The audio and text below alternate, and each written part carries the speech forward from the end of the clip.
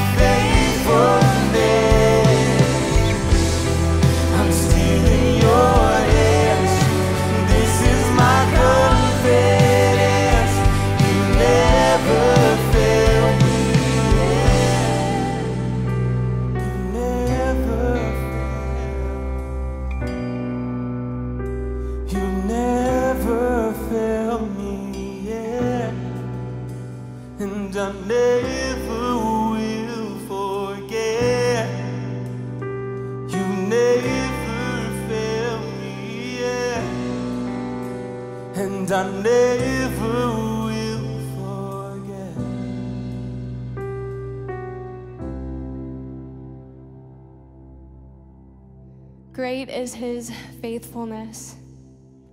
Today, our readings from Psalm 95 It says, Come, let us sing for joy to the Lord.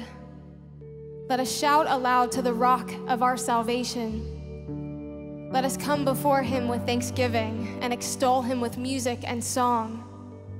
For the Lord is the great God, the great King above all gods.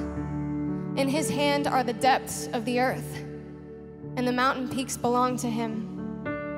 The sea is his, for he made it, and his hands formed the dry land. Come, let us bow down and worship. Let us kneel before the Lord our Maker. For he is our God, and we are the people of his pasture, the flock under his care. He is our great God and King. He is the good shepherd who cares for his flock and He's the only thing that can truly satisfy us. So let's praise Him today, because He is so worthy to be praised.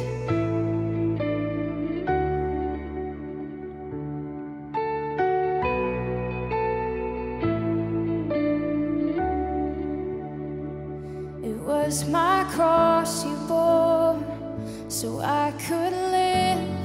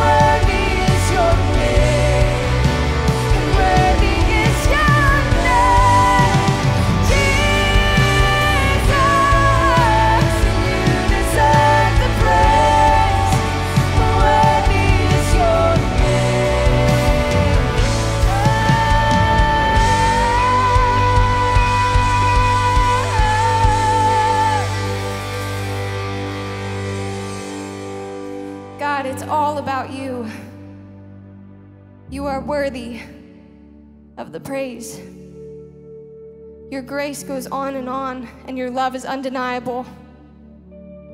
You want a relationship with each and every single one of us. I pray for those watching online today that feel an emptiness, God. You are what satisfies. Only you can fully satisfy us. We can chase after money and attention and fame, God, but it'll leave us empty.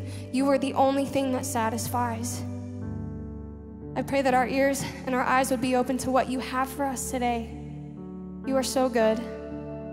We pray all of these things in Jesus' name. Amen. It's been amazing worshiping online with you guys today.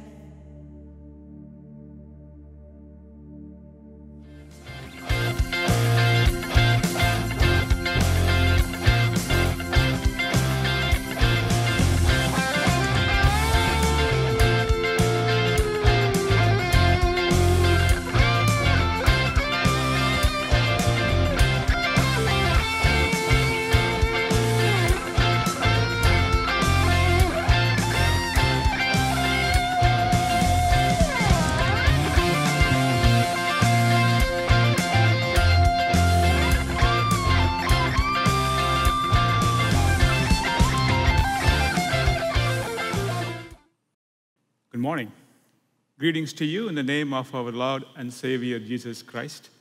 My name is David Solomon. My family and I have been part of Faith Church since 2011. I thank Pastor Joe and Pastor Brad for giving me this opportunity to share the Word of God with you today. Let's turn your Bibles or open your electronic devices to Exodus chapter 20. We are in the series, Life is a Highway, and we are going through the Ten Commandments that the Lord gave to the Israelites after He led them out of Egypt. Today, we are going to look into the last commandment. So let us remember that these commandments are the guardrails given by our Lord to protect us from our journey in this world, but not to condemn us. Let us read Exodus chapter 20, verse 17. You shall not covet your neighbor's house. You shall not covet your neighbor's wife, or his male or female servant, his ox or donkey, or anything that belongs to your neighbor. Initially, when I read this verse, I thought, I'm not interested in my neighbor's property or his wife or the servants. And by the way, they don't have any donkeys. So I'm good. So I checked all the boxes and I told myself that I did not break this commandment. But when I started meditating more on the word covet, I realized that it has a very deeper meaning. Covet or covetousness are words we don't use often in our regular vocabulary. In Greek, it means desire or desire for more. We hear this often. If only I had that, then I would be happy. Or I want that so bad. Rockefeller, the millionaire, was once asked, How much money does it make you to be happy? He replied, Just a little bit more. Desire in itself, it's not a bad thing.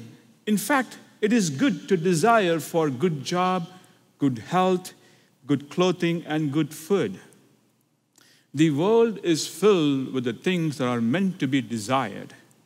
The problem isn't in our desire, but our desire for more that makes us to covet. Why? It's because we want something so bad that we are willing to hurt someone or disobey God. It's like we are telling God, whatever you have given to me is not enough. So this commandment doesn't deal with outside condition, but mostly deals with the condition of our heart. First, our eye sees it, then our emotions takes control over us and allows us to desire and go after the things we see. We often find ourselves driving around neighborhoods wishing we could have a house like that, or we compare ourselves to the people in the TV shows or magazines, wishing we could have a body like him or her. Or maybe we wish we could have a perfect family that a coworker seems to have. This list goes on. I always had a fascination for cars. When we started our family, we traded our car and got a minivan within our budget. In a couple of years, I saw a newer model and I wanted them so badly. I convinced my wife that this new van had more space and more safety features. It was so hot in the market that we had to wait for a month to get it. The smell of the new car and the smooth ride quickly faded away when a high month, monthly payment kicked in slowly. As soon as I realized I made a mistake and we ended up selling the car within a year. It is a human tendency that we always want something better or something more. God's word talks about this condition to desire for more in many places throughout the Bible. For example, we can see it from the beginning with Adam and Eve. When Eve was tempted by Satan, she sees the forbidden apple, and in her heart, she desires to acquire the knowledge and to be like God. Like it wasn't enough for her to be known and loved, but she wanted more. We can see another story in Joshua chapter 7. God tells the Israelites, when you win the battle over Babylon, don't take anything from them. But this guy named Achan, when he saw the shiny and beautiful things, he wanted them so badly and coveted them. Bible also warns how a strong believer in Christ can easily fall into temptation. For example, we can look into the life of King David. This was a man who truly loved the Lord and wrote the Psalms. God says he is the man after my own heart. God's anointing was on him, and he gave victory over all his enemies. One day, he was supposed to be leading the army in the battle, we can see in 2 Samuel chapter 10, he stays in the palace. He lusts after Bathsheba, commits adultery, and to cover his tracks, he plots to murder her husband and gets him killed. By this act, he not only broke quite a few commandments, but it also grieved God's heart. Like he said, God, what you were given to me is not enough. I want more even though King David had everything the world could offer. He had fame, wealth, power, authority. He had more than one wife and more concubines, but it wasn't enough. So, what about us? What satisfies you? Or let me ask a different question What are you going after that you think when I get this thing, I will be satisfied. We think when I get a bigger house or a new job or more children or a new relationship, I will be satisfied. Will you? Do you know someone that who seems like they are always dissatisfied? You could give them all expense paid trip to the Caribbean and they could still complain about the heat. So we can see when we are not satisfied with what God has given to us, we can easily fall into the sin like King David did, or even get addicted to drugs, gambling, or drinking. Do we not see this kind of conditions today in our society? These conditions not only affect the individuals, but it also affects the families as well. So, what is the source of our satisfaction? I noticed something.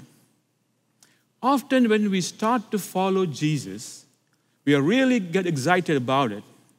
We think He is everything I'll ever need. We have the fire and zeal to live for Christ. But I've seen in my own personal life that over time that fire slowly dies and I start looking around for the things that could satisfy me. Christ follower, is Jesus still enough or do you need more? I think Jesus has this beautiful way of explaining why we start to look for satisfaction everywhere else. He says from the Gospel of Luke, chapter 9 and verse 23 Whoever wants to be my disciple must deny themselves and take up their cross daily and follow me. Jesus says to deny ourselves. But the reality is that we are very consumed with ourselves, aren't we? We once thought Jesus as everything we need. Then we start to desire for security, health, uh, or wealth, or comfort. When we get it, we still, we're still left with wanting something more. Deny myself doesn't mean that I need to isolate from the world and forsake all human relationships. It's something very different. Apostle Paul has a great way of explaining what it means to have everything we ever wanted in Jesus Christ. Let's look at Galatians chapter 2, verse 20. Paul says, I have been crucified with Christ. I no longer live, but Christ lives in me. The life I now live in the body, I live by faith in the Son of God, who loved me and gave himself to me. Apostle Paul is not saying that we need to go and crucify ourselves. He's talking about the inner person I. It is my self righteousness, my self trust, my self pity, my self will, my pride, my greed, my arrogance, my short temper needs to be crucified on the cross. The, all the selfish desires of more needs to be crucified. The I of myself must be crucified. The next part of the verse says, I no longer live, but Christ lives in me. Is Jesus Christ enough for me? The life that He has given to me is enough? Or do I need more? Or am I trying to hold on to the old I, the desires that I had for so many other things? The next part of the verse says, I live by faith. It is very hard to live by faith. It is by faith I accept Jesus Christ as my personal Savior. It is by faith I, my old person, is crucified with Christ. It is by faith that I died to sin with Christ, and it is by faith I am a new creation raised with Christ. Our source of satisfaction is Jesus Christ. So Jesus offers a way out to overcome the desire for more of this world. Listen to what he says in the Gospel of John, chapter 7, verse 37 to 38. That anyone who is thirsty, come to me and drink. Whoever believes in me, the scripture has said, rivers of living water will flow from within them. When our desire for more starts to rise up, when we feel the spirit of coveting or envy or greed starts to overpower us, Jesus says, Come to me. I will give you everything you need. Underline the word, come to me. There's an invitation from Jesus. My desire of more of this world needs to be changed to the desire of more of Jesus. So the truth is, the world has two too much good stuff to offer. Some good, some not good. So, how do we beat the trap of having this attitude God, what you have given to me is not enough? Bible tells us or uses this phrase by renewing of our mind. In Romans chapter 12, verse 2, Paul says this Do not conform to the pattern of this world, but be transformed by renewing of your mind. We need to reset our hearts and minds, and we need a renewal. Let's look at a couple of practical ways to renew our minds. First, renewing of our mind by the Word of God.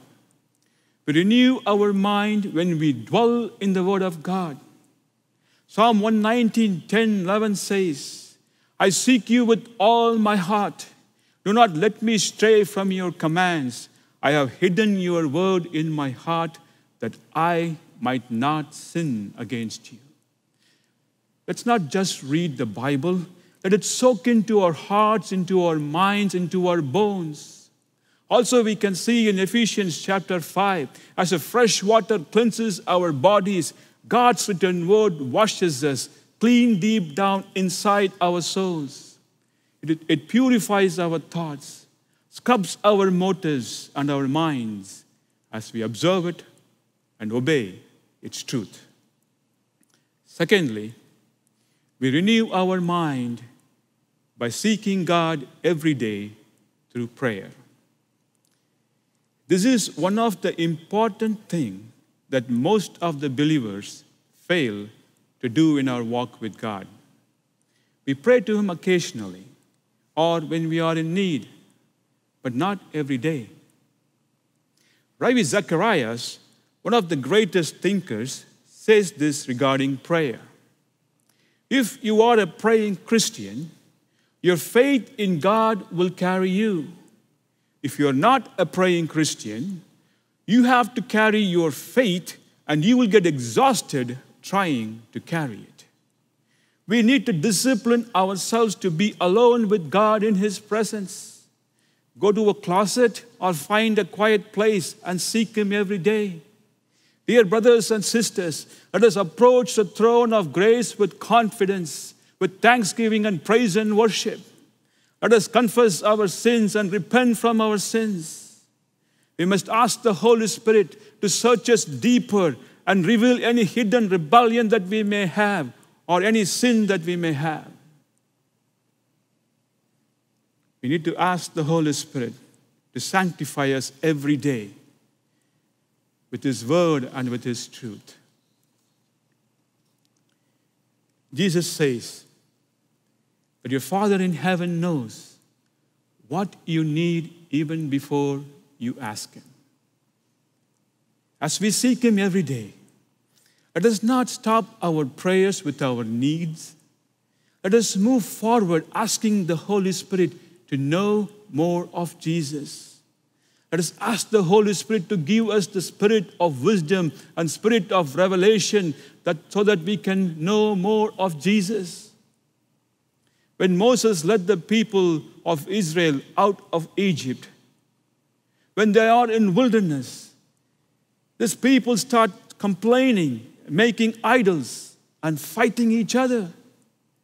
They look for satisfaction in material things. Instead of joining and reasoning with the people, Moses pitches a tent outside of the camp and sought God and spent time in his presence. He is crying out to God for his people and asking him, Lord, teach me your ways that I may know you more. Let these people know who you are. As he spent time in his presence, our Heavenly Father reveals to Moses, I am the Lord who is so compassionate and gracious God. I am the Lord who is slow to anger. I am the Lord your God who is abounding in love and faithfulness. Dear brothers and sisters, let us desire for more of Jesus. As Paul says in Philippians chapter 3, in order to gain the knowledge of Christ, he considers the knowledge he acquired to be a great scholar as dust and nothing. He doesn't want the book knowledge. He wants to gain Christ. He wants to know Him more. And he wants to know the power that resurrected Christ. I encourage you, my dear brothers and sisters, let us grow in His grace. Let us grow in the knowledge of our loving Savior, Jesus Christ. As we long for Jesus and seek Him every day, we will become like Him and able to bear fruit. The fruit of the Spirit love, joy, peace, forbearance, kindness, goodness, faithfulness, gentleness, and self control. As we bear fruit, we will experience the fullness of joy and the everlasting peace in our hearts. Our innermost soul will be satisfied. Our outward craving will be quenched by our inner satisfaction. I close with this thought. In John chapter 7, verse 38, we see Jesus invites us to come to him. As we seek, as we seek him, as we drink from him, he promised the spring of living water flows within us.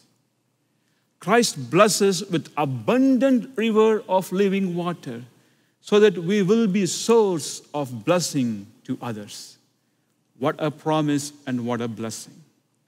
As we desire for more of Jesus, we will not only be satisfied, but we will be a blessing to our families, to our neighbors, to our community, and to our church.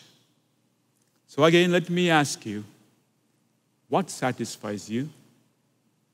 If you had everything you wanted, would you be happy? Jesus only can fully satisfy you. As we end this series on the Ten Commandments, the first four commandments are about the vertical relationship between us and God. The next six commandments are about our relationship with each other. These two relationships, the vertical and the horizontal relationships, meet at the cross of the Calvary of Jesus Christ. Jesus sums all these commands into love the Lord your God with all of your heart, with all of your soul, and with all of your mind, and love your neighbor as yourself. Jesus invites you to come to him today. He says, I am the living bread. Do you trust him that he will provide your needs? Jesus says, I am a good shepherd. Do you trust him with all your life solely dependent on him? Do you trust the Lord who says, I am the Lord your God who brought you out of the Egypt, out of the land of slavery? I gave my son Jesus to die for you, for your sins, to redeem you and give you everlasting life. Do you desire for more of Jesus? We come to the cross today and surrender to Him and be satisfied only in Him. Can you close your eyes and examine your hearts? The Holy Spirit is talking to you today. Are you far away from Him? Are you drifted away during this season? Jesus says, Come to me. Is the fear gripping you? Are you going through a lot of pain? Are you wondering how I'm going to navigate this season of pandemic that we are in? Jesus says, Come to me. Are you angry or tired with what's going on in our country? With so much of hatred and racial injustice and political divisions. Jesus says, Come to me. Instead of looking things from outside, can you look up towards Him, like what Moses did.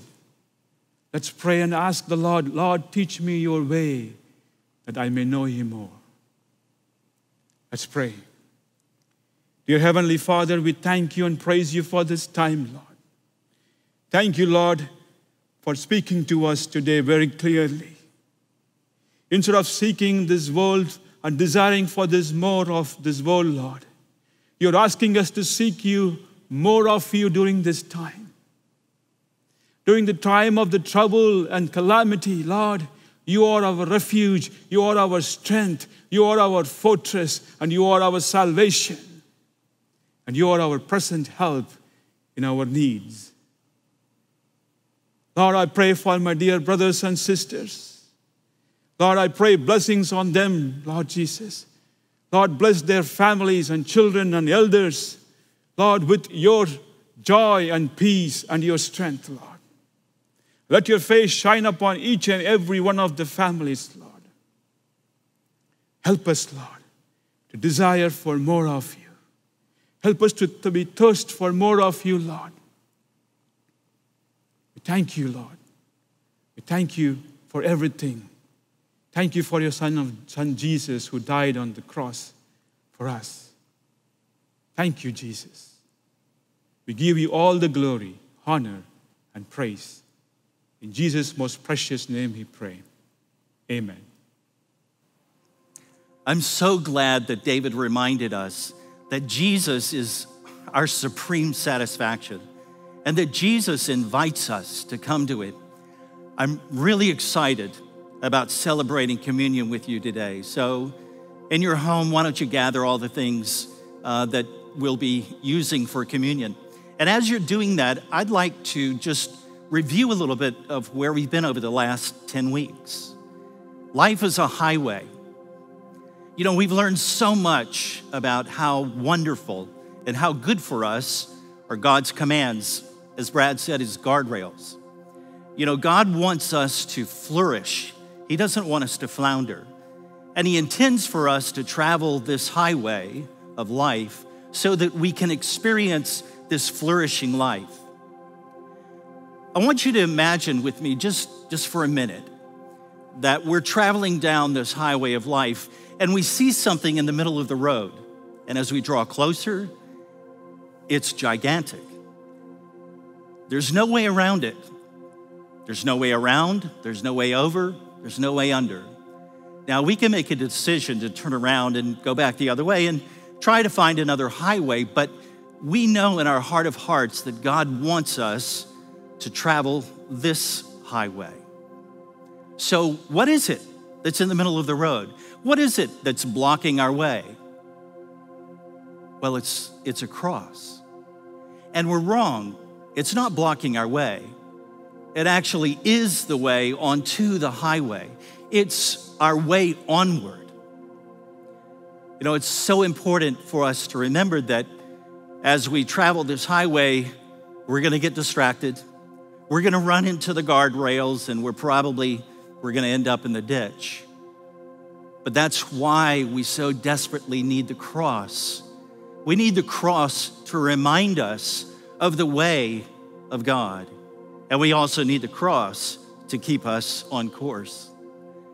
You know, this, this immense cross reminds us that every step of the way, we're to need daily doses of God's grace, of His love, of His mercy.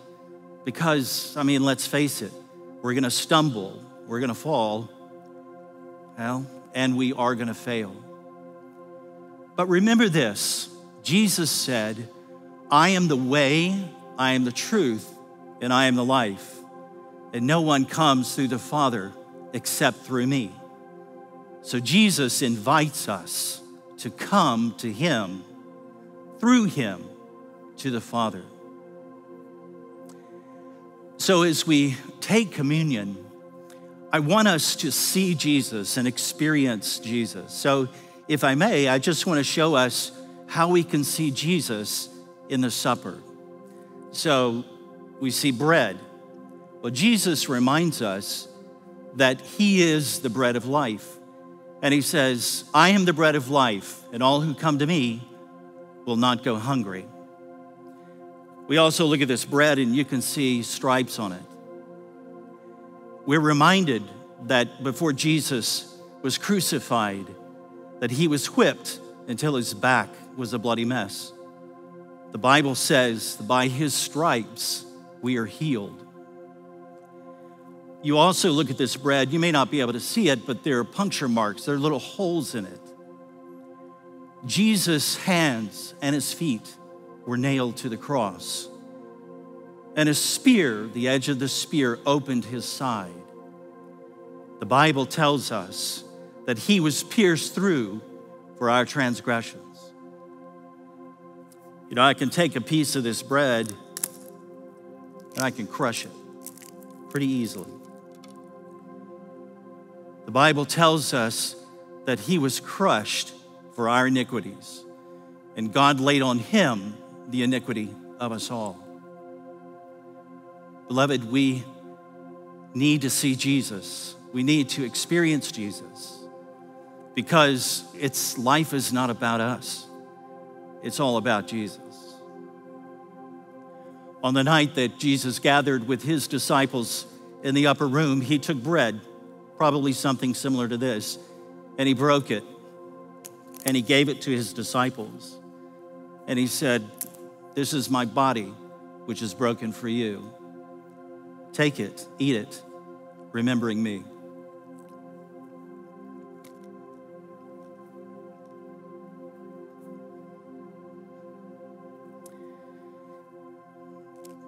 Then he also took the wine.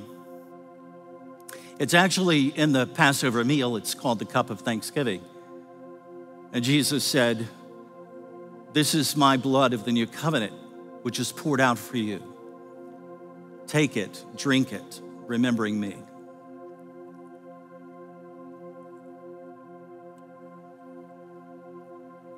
Let's pray. Lord Jesus, as we've heard today, you are our supreme satisfaction. Oh, how our hearts go after so many things that are of lesser value. But God, as we're about to sing this song, that you are, your presence is like the very air that we breathe. Every breath we need to take every day. Oh God, we need your presence in our lives every day. As we sing this song, Lord, I need you. Oh, I need you. Every hour I need you.